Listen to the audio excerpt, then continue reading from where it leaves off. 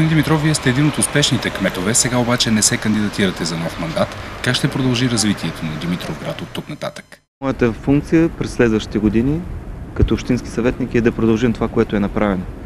Да работим заедно с хората, с които градихме Димитровград. Госпожа Панева ще има подкрепата на общинската администрация, хора, с които работихме 4 години заедно, които изграждахме стъпка по стъпка развитието на общината, които създавахме новите проекти, които са и облика на нашия град.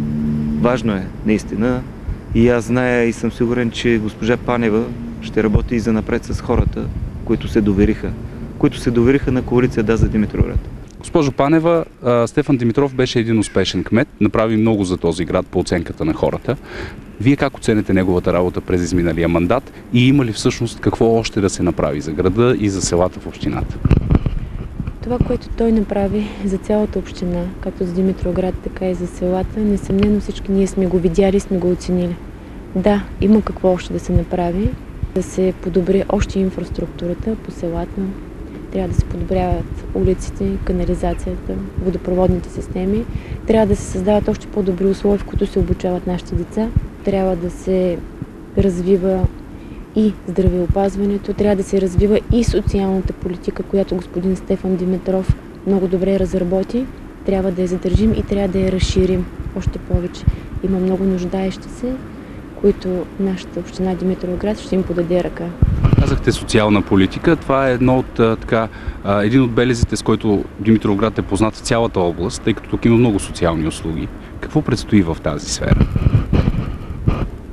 В тази сфера предстои разширяването на домашния патронаж, изграждането на центрове, в които да се настаняват деца от семейен тип, да живеят в една семейна среда, изграждането на центрове, в които възрастните хора да получават както медицинска помощ, така и обгрижване. Проектът Майка и бебе ще бъде насочен към тези родители, към тези майки, които не знаят или имат нужда и да се насърчат подкрепа как да гледат своите деца и как да задържат те своите деца. Ще има създаден център за настаняване на хора, които са бездомни, хора, които няма къде да живеят. Какво предвиждате във връзка с Общинската болница Света Екатерина? Трябва да се привлекат и още други специалисти, специалисти, които да въведат нови методи на лечение, така и да успеем да разширим обема от работа в болницата, за да може самата болница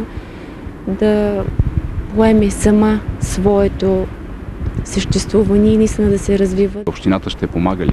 Да, общината ще помага за това болницата да има средства, да осигури средства, които наистина да се оборудва болницата, техническата база, да се стимулират лекарите.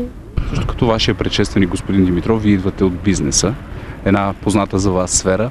Това предимство ли е или недостатък за един кмет? Аз бих казала, че е предимство. Много е важно, когато един човек е работил с е, голяма група от хора, работил е в колектив и знае как да работи. Това е много важно. Когато човек е сам, трудно се сработва с хората, така ням, няма как да се реализират, няма как да се разпредели работата и да се обхване всичко.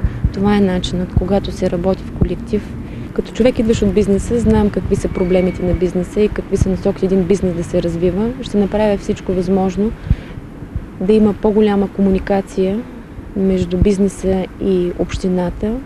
Когато бизнесът е добре, все пак и хората, които работят в бизнеса, ще се чувстват добре. Това става въпрос както за малкия и средния бизнес, така и за голямата промишленост, за големите предприятия. Града ни има нужда още от инвестиции, нови инвестиции. Само така бихме могли да развием една правилна економика и това е начинът економиката да се завърти. Когато има инвестиции, когато има повече работа за всички, тогава ще има и повече средства. Това да управляваш един бизнес е доста отговорно. Аз мисля, че когато един бизнес се развива, ти си доказал, че умееш да управляваш. За първи път Димитровград има кандидат кмет жена. Това важно ли е? Аз мисля, че няма значение мъж, жена, кмет. Важно е да има идеи, важно е да се реализират проекти, да се развива нашата община. Кмета на общината е човека, който трябва да бъде човек за всеки един. Аз смятам, че имаме възможност наистина да работим и за напред. С госпожа Кате Панева и ще го направим. Затова общината да върви напред и бизнеса да знае, че има своя партньор в лицето на госпожа Панева, в лицето на Общинския съвет. Купуването и продаването на гласове е престъпление.